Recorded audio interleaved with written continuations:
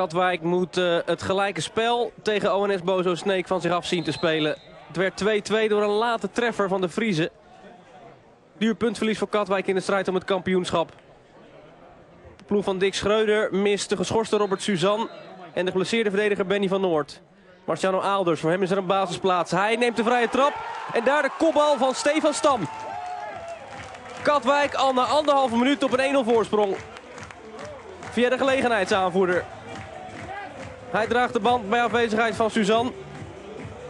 Is nu even aan de aandacht ontsnapt. En dan is dit een houdbare bal voor Johan Jansen, zo lijkt het. Maar het is feest op de krom. Katwijk leidt.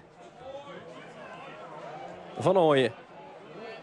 Vormt een aanvalsduo met Jongenelen. Van Ooyen zelf en nu een goede redding van Johan Jansen.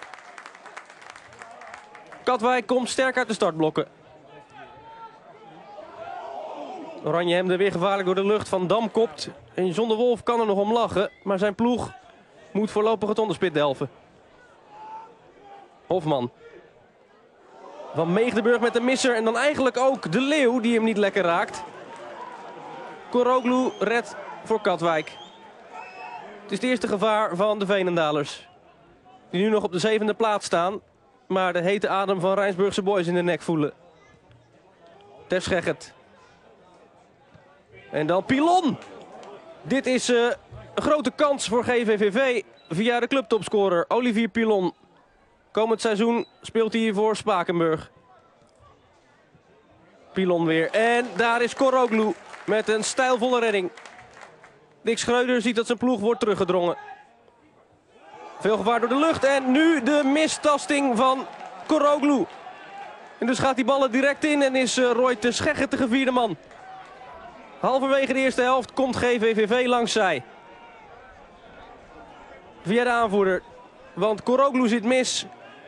Dan uh, claimt Hulsbos het doelpunt, maar heeft hij de bal niet aangeraakt. En komt de treffer op naam van Terscheggend. GVVV komt meer en meer in een gevaarlijke positie. Maar nu is Koroglu op tijd om de angel uit de aanval te halen. Van Eck is eventjes vrijgelaten en dan uh, moet Koroglu weer handelend optreden. Hij krijgt het steeds drukker. De afzwaaiende doelman van Katwijk.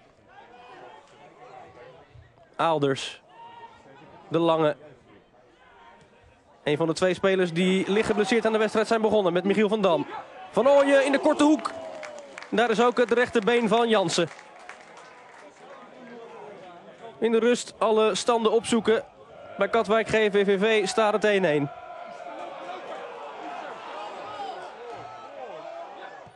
Dit is plat met de kans voor Katwijk. Hij is uh, vroeg in de wedstrijd ingevallen voor de geblesseerd geraakte Kevin Sterling.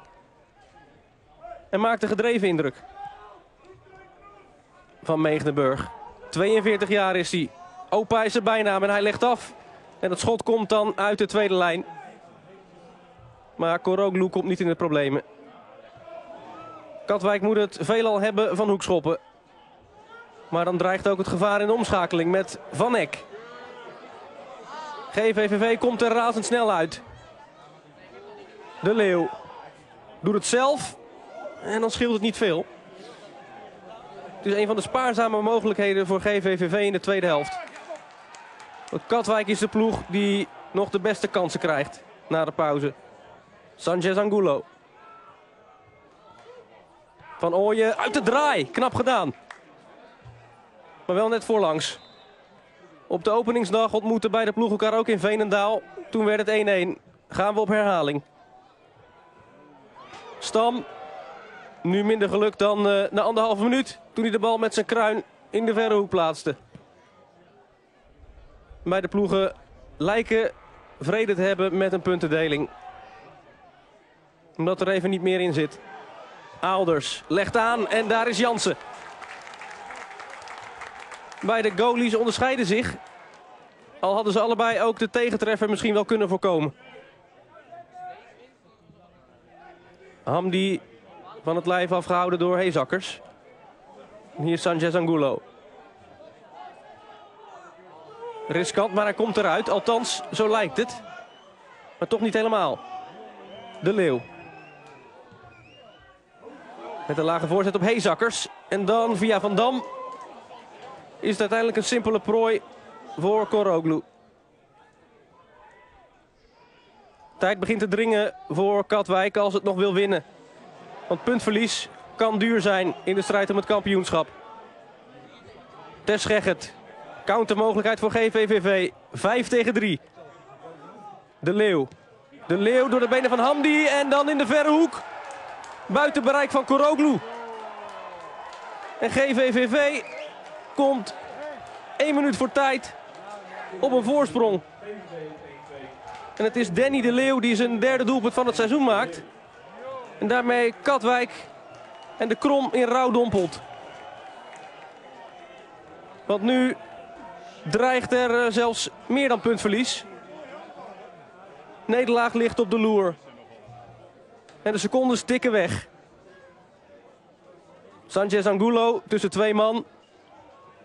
GVVV kan uitverdedigen. En dan is het gebeurd. En leidt Katwijk een pijnlijke nederlaag thuis tegen GVVV. En daardoor is er teleurstelling in het kamp van Katwijk. En kan GVVV het feestje vieren. We moeten naar onszelf kijken. We moeten de komende wedstrijd proberen te winnen weer. En dan is het altijd weer uh, een verrassing wat, er, uh, wat de anderen hebben gedaan. Dus we gaan gewoon proberen zelf te winnen. En daarin kunnen we alleen maar kijken naar wat wij dus zelf doen. Ja, natuurlijk ben je, je bent teleurgesteld. Omdat je, ook omdat je hem vorige week in de laatste minuut weggeeft. Je geeft hem nu in de laatste minuut weg. Dat is, dat is zuur. Maar ja, het, het, is nu wel zo. En ja, het is zoals het is nu moet gewoon zorgen dat we, dat we goed herstellen van vandaag. En uh, twee goede wedstrijden op de mat brengen. Twee keer winnen. En uh, dan is er nog niks gespeeld.